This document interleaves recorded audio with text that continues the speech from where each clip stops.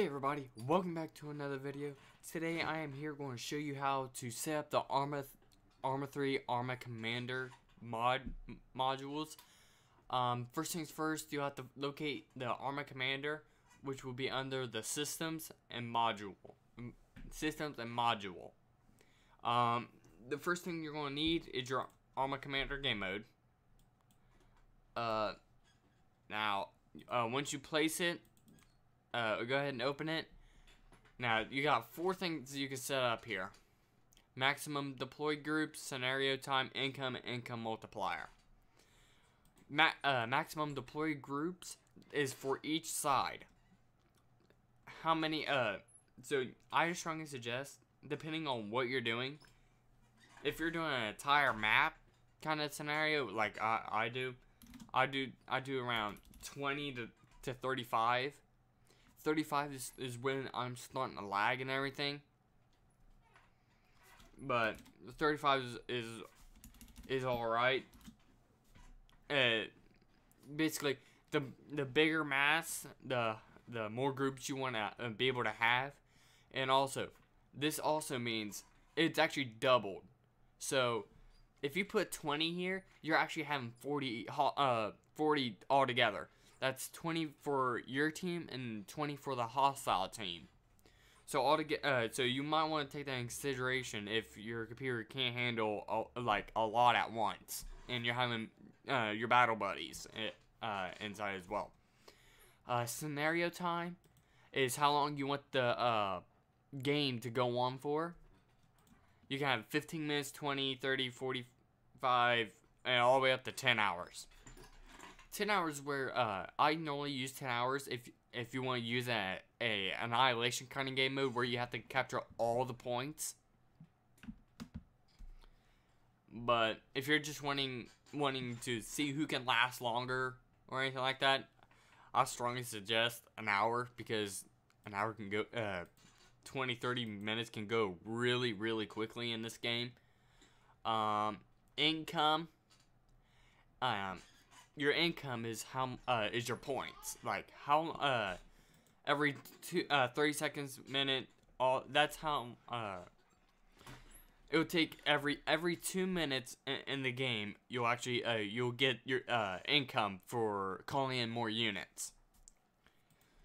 Um, I normally set up uh, depends. It's either either a minute, two minutes. It like I said, um, it depends on what you want in your mission. Income multiplier. I believe this this uh, can double or uh, double triple your uh, how, how much you actually get. I'm not 100% sure, so don't go off what I said about the income multiplier.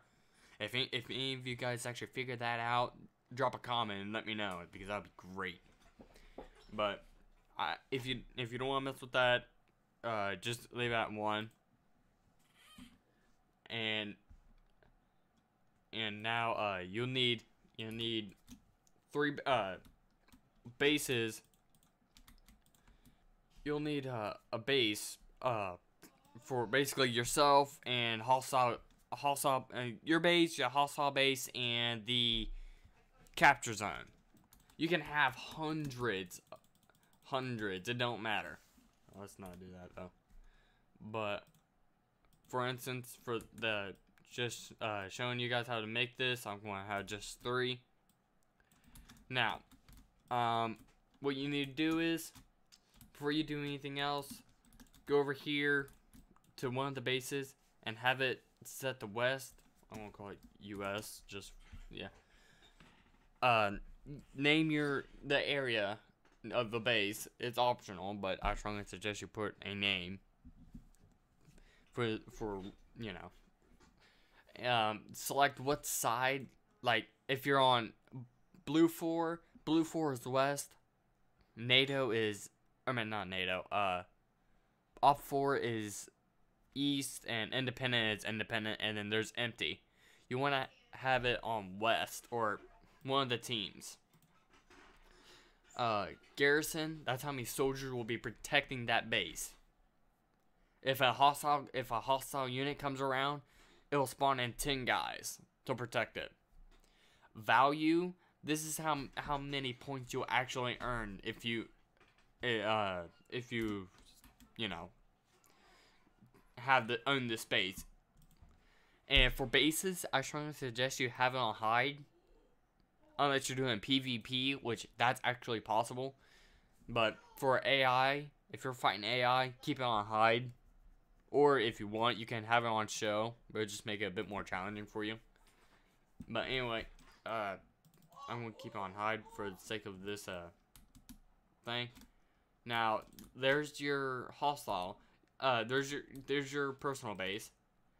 You can actually put a outpost or anything like that inside of it, and it will not hurt it. Just make sure this little this trigger, the, uh, this module is actually not in something because this is actually where your flag will be. So it, uh, once you do that, you need a squad. If it's for single player, you can you can only you can place just one guy. If it's for multiple guys, uh, if it's multiplayer, put as many units there as you want, and make sure they're all playable. Like that. Now, uh, you can also take the weapons, uh, like a squad. If you want to do this, this works as well. You can right click, sync, and sync it to the base. These guys will spawn in as if they were part of the base. So they'll be friendly, uh, friendly uh, guys just walking around protecting the base. Whoops. So you could put put them anywhere and all that, and it will not matter. You could just keep them there, just, and they will stay in this vicinity. Or if the base is being overran, they'll probably run off like like uh, like Arma does. Uh, and that's that. That's how you set up the enemy, uh, the friendly base. You can do the exact same for the hostile base as well. You know, go over to your hostile base, set it up, east, Russian, because why not? Uh, give them five. Uh, weapon team, uh, air defense. Set these guys to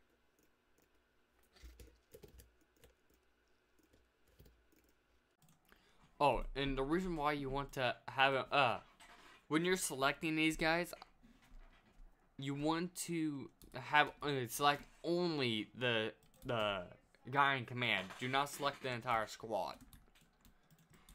Now that's done. You can do the same thing, you know.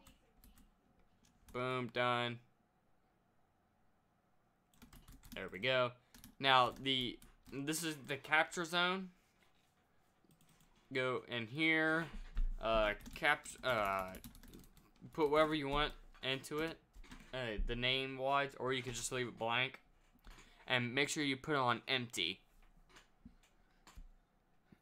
Uh, if you put on empty, don't own it, and it's basically a battle zone. That's, uh, the, uh, once you capture it, this is how many, uh, garrison will how many units will actually spawn there. You know, basically same uh, same thing for these guys, but uh, the only difference is is that you you can't put uh, you can't sync a squad up to it, nor uh, and you cannot actually pair drop units in here. Uh, you can paradrop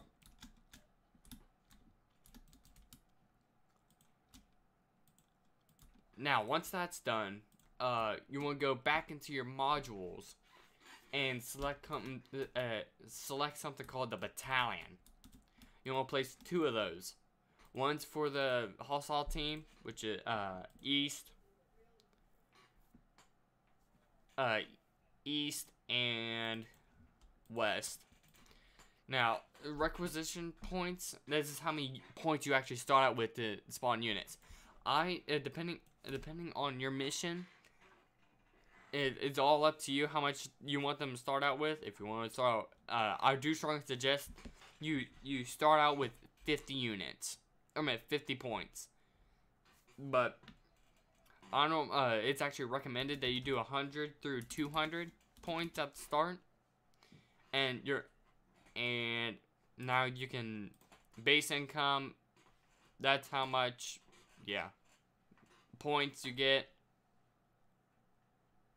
uh type this is where you could select your your uh team uh for west you can you can select the uh all the nato nato mechanized battalion ranger battalion and you can select the custom battalion. I'm I am making I have made another video for custom battalions. So if you want to see that, it'll come out next week. Um uh for now I'm just going to use the NATO Ranger battalion. Actually mechanized battalion because I you know, why not? Um and now you're done with that, now you can go over here, do the same thing for CSAT. You can uh, for CSAT, you can use the Recon Battalion, Guard Infantry Battalion, and Tank Battalion. I'm going to say on Recon to make it easier on me. But, uh, like I said, it, it also worked with the Custom Battalion, but you had to set that up by yourself. But that is basically how you set up this game. and game mode. Now, if everything works correctly, all you have to do is just uh, when you load in now if everything works you should be able to have all that now you can call in your infantry squads your panthers tank destroyer slammers all that craziness into the battlefield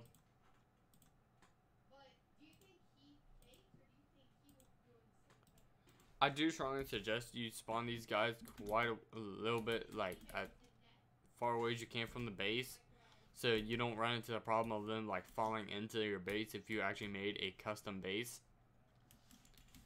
Now, you can also take over your squads, which you just have to select one of your teams, which for instance I'm going to use Alpha 1. All you have to do is just select on them, select your squad, and switch. and then you'll be able to command that that squad and rush into combat. Whatever you do, do not bring your command units into combat. If you do that and your guy gets killed, if your guy actually gets killed, you will lose. That is just the AI way of saying, haha, I won, you loser. But, I'm being shot at um, that's how you basically set up this this uh this game mode. Once you actually set this up and everything, uh, go ahead and make a save for it, which I'm gonna put its testing zone. Now, once you got the testing zone and everything, you wanna you wanna go ahead and tab out, and I got I have a code that you will, will have to put in. Uh, first thing you need, uh, once you once you actually uh, get uh, back out of here, you need to find your missions, which will be under your Arma 3 other profiles. Uh, this PC documents Arma 3 other dash other profiles, your name, missions, and or wherever you, wh whichever you saved your mission to, and then find your mission. Now, the first thing you need to do is is create a, a .txt file uh, once you find that, I'll give you a second to find that out real quick because I was talking really quickly. But um, once you find that, you uh, go ahead and make a right click inside your mission folder and create a just a text document. Once you do that, open it.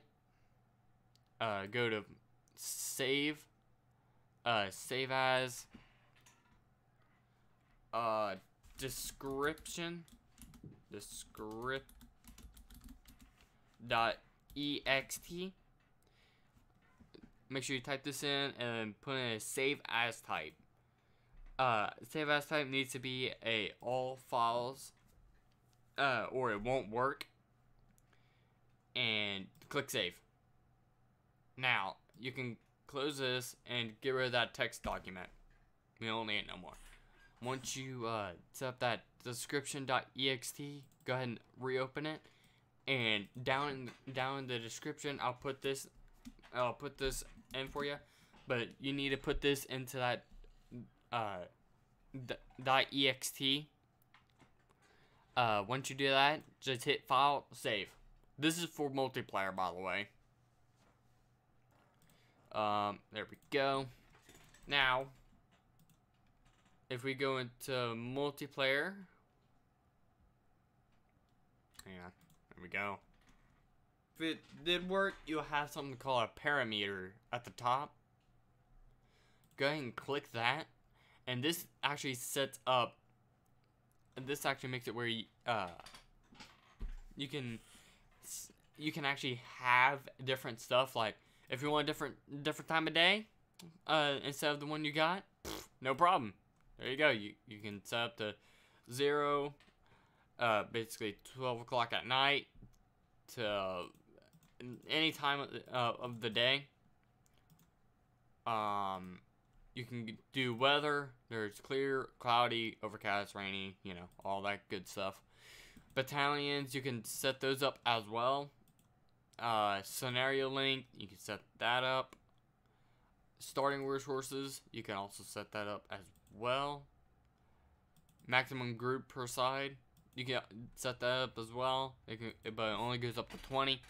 Sharing commanding, shared commanding. This is this is some. Uh, if you want, you want to make sure this is actually true so that you uh, if you're playing multiplayer you can actually do uh, you and your buddies can actually call in uh, guys together and all that music all that craziness and that's that and uh, there is a common uh, glitch where you will have a black screen if you didn't type it in correctly well your buddies will have the error not so much you since you're a host but now, uh, say if there was uh, a friend of mine was on, he will now be able uh, to join and all that. And actually call in units and all that craziness and cause havoc and basically work together. Um, this, oh, I want to also point this out that this actually does work with Task Force Radio it, for those that are, that for whatever reason is curious about that. Um, this uh, it and this will work with Task Force Radio. You just have to slap down the. You just have to slap down the. The uh, module for it. If you don't know how to set that up, I'll make another video on how to set that up for servers. But allegedly, you really don't need it need to put down the module from what I'm seeing. What I've seen in the past. But, uh, yeah, thank you guys so much for watching. Uh, I hope this actually helped you guys out. Uh, if anything was confusing, please uh, drop a comment. And I'll try to help you out as best as I can. Uh, thank you for watching. Please leave a thumbs up. Uh, subscribe if you haven't. And and uh, click on the bell so you know every time I upload uh, when I upload a video. Thank you all for watching, and I will talk to you all in the next video. See you guys.